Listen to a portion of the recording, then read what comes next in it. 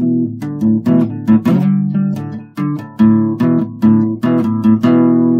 January 8th. Look right here. Uh, this is the one at one real positive of uh, doing like software to draw and that I use. I use most of it like paper, but I can mirror the drawing and it gets right down the center so I don't have to measure. And that's the part that I like. Uh, and then I turn off the mirror start drawing. Because if I didn't, then the TV would be on the opposite side of the other side, and that would just really piss me off. Sometimes I hit that by accident, and then I find out after I zoom back out, and it's like, ah, I gotta erase like 25 things. It's January 9th, 2019, 4.56 p.m. I got a late start on this cartoon. Um, I I surrendered my bedroom last night slash office, so uh, a couple girls could have a girl talk. It wasn't a, a huge problem, nothing but I let them. It was like the, the, the, quietest place in the house where they could hide, nobody else could hear them. And then I finally crashed it and got them out of here by around midnight, but way past my nap. Um. So yeah, I drew another TV, and I even drew a cliche. But it's not my fault that I drew a TV because Donald Trump is on everybody's TVs in the country, every network. So I don't feel bad about this one. I don't even feel that bad about the cliche mm. because I had a couple other ideas and I settled for the cliche mm. one because I felt like I was doing it a little bit differently. Mm. You know who does the best cliches and does them where it doesn't really make me angry is Tom Toles. He did this one where Trump was painting himself into a corner, which is a huge cliche, but in that corner was Robert Mueller's office door. And I, that just killed me because I wish I had thought of that one. But I am seeing way too many Humpty Dumpty cartoons this week. Ugh. So many Humpty Dumptys just, just killing me. All these Humpty Dumptys.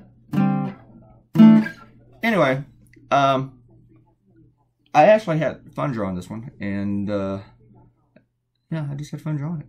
Uh, but I'm always intimidated when I have to duplicate the the panel again. It's like I got to make everything land right from the faces, the you know how the shape, the size of everything, the size of the TV, the size of the couch.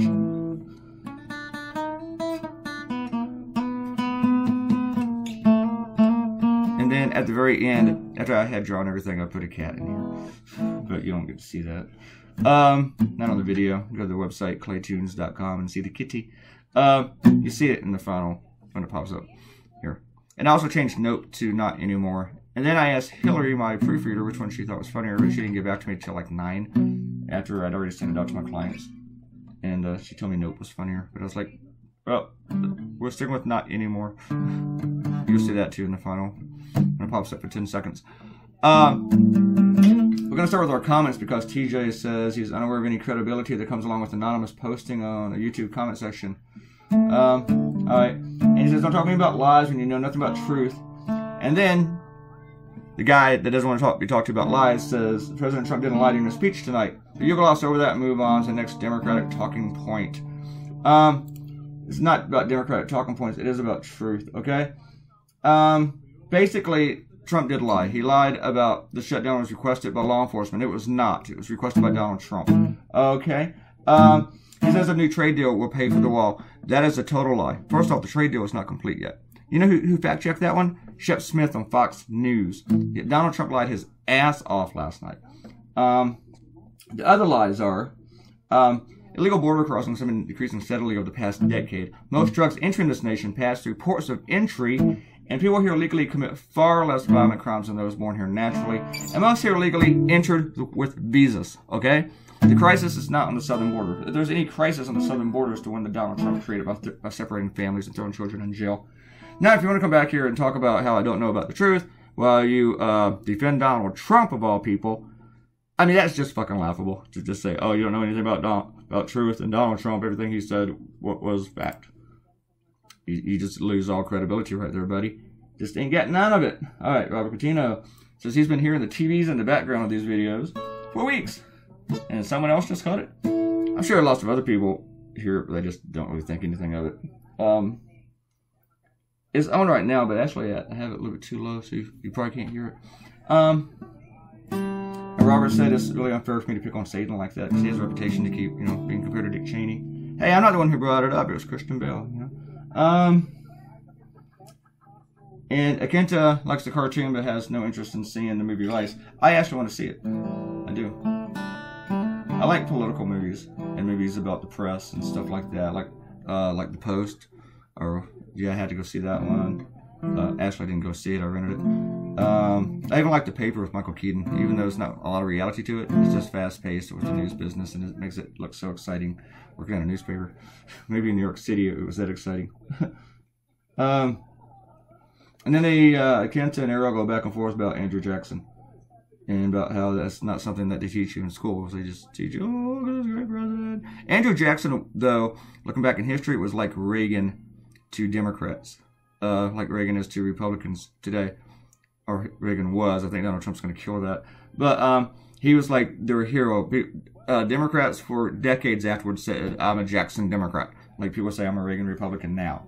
Yeah, Jackson had, and the thing was, Jackson was a horrible, horrible person. He was just horrible.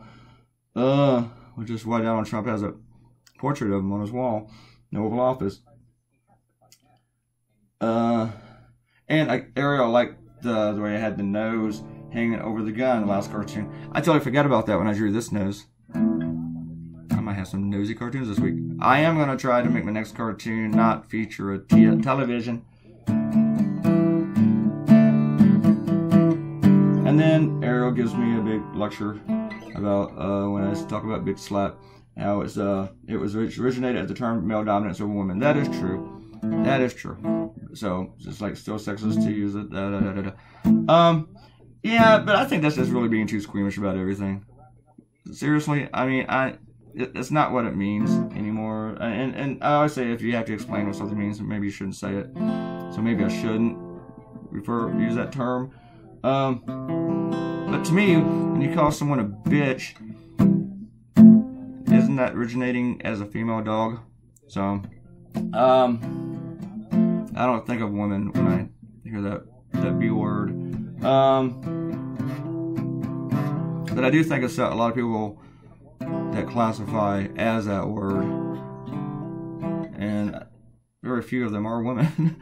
um, so yeah, we we can go back and forth about that. I, I don't want to be politically correct and sensitive about every little thing though. You know, every tiny little thing. You gotta watch where you step. You gotta watch where you step. And watch out. There's one right there. There's another little bomb. You know, just. And I know I sound like a conservative when I say that, but I'm just not gonna live in fear about what I say because I think people understand where I'm going, what I'm saying. So, uh. Uh, and then we talk about making mistakes in a cartoon, like on stage, you don't tell the audience. It goes for all performers, pretty much. Arrow's right about that. And Arrow thought the TV looked like a TV on the last one. This one looks more like a TV, even though I kind of have it at a slanted view. You know, but that was okay.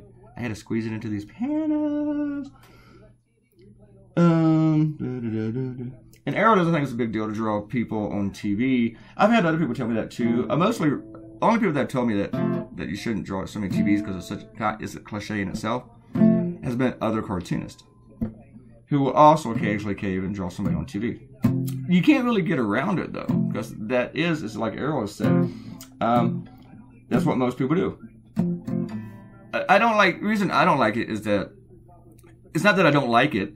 I, I, do like it. I like doing it here, I like doing it in the bars, like Akenta likes. I just don't like doing it all the time. Um, if I did it like once a month, I'd feel much better about it. I've done it like four times in the past week though, here. And you know what? Nobody would really notice. Okay, we're about done, and I think I got everybody. Um, so yeah, I did. Here it is. See, there's the kitty, and I changed it to not anymore. I had to make that cat really small though, which is fine because my roommates brought home another cat last night that apparently is just gonna be foster for a few days or weeks, which means in this case months, and it's tiny. Yeah, that's another reason I started late. After I woke up, I had to help them give this thing a bath. Three of us. But it was real easy. It just sat there like, okay, do whatever you want to do. So it wasn't fighty at all. All right, guys. Uh, click the red button, subscribe, and you will get another video tomorrow. This is two, 342, right? And goodbye. Goodbye, bye, bye, bye, bye.